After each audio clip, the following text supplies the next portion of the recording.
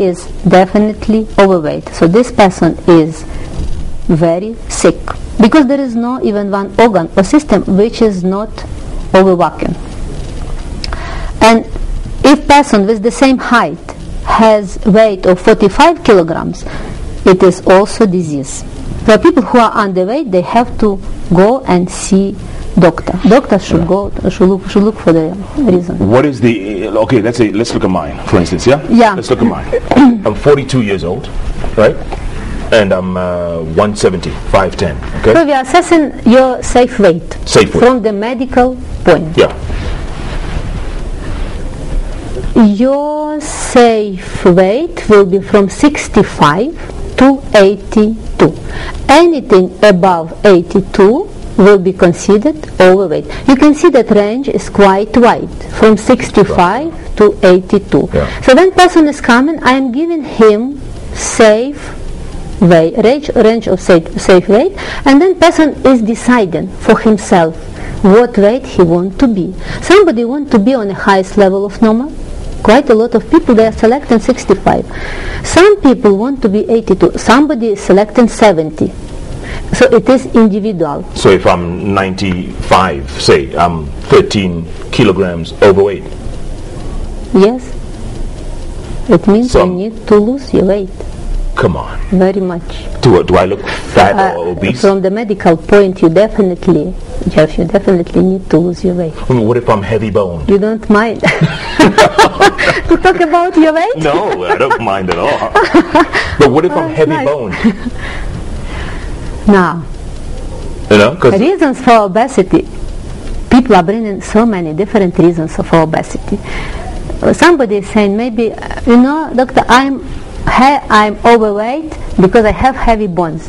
Another patient is saying that I increased my weight after delivery.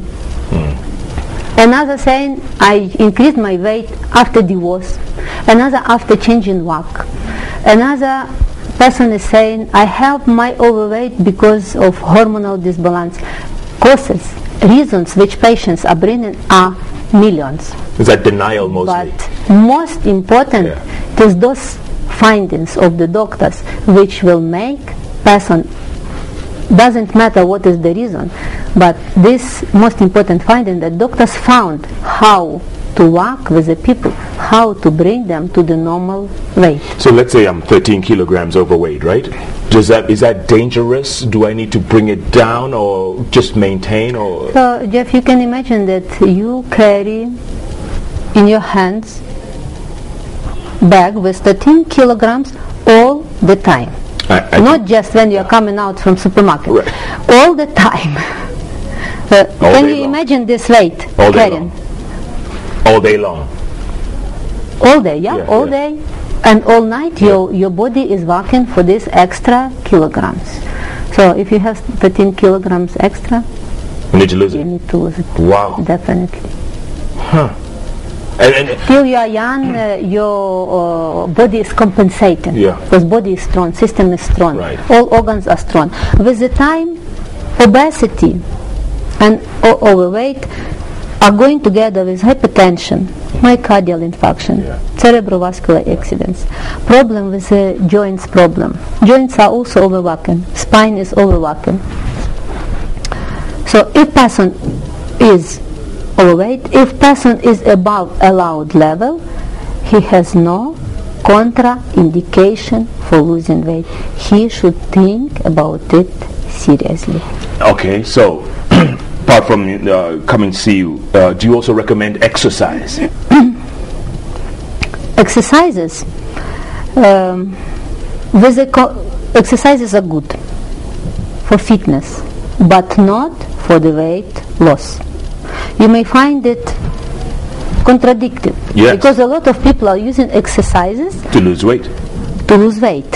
But our experience is showing, experience of many, many people is showing, after doing a lot of active exercises, they're losing 10 kilograms. After stopping these active actions, they are adding 15.